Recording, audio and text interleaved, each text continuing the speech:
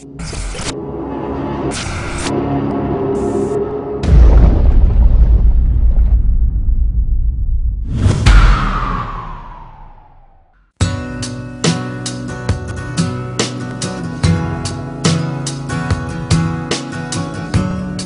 put it really simple, it's a war between three races. Uh, the Elyos, Asmodians, and Balaur. The first two are PC races, and the third are an NPC race.